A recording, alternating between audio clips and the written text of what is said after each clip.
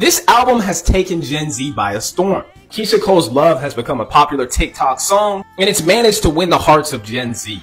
I think the funny part about this whole song is that she never even liked it to begin with because she thought she was a bad songwriter. But boy, was she wrong. You go to any HBCU function and this song is banging. This record has crossed interracial boundaries, and because of that, it's become bigger than ever.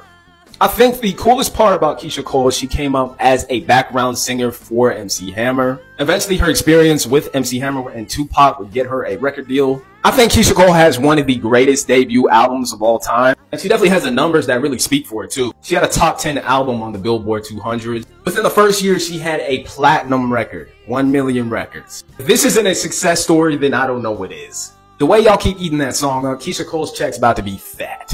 To be honest with you, I love this for her.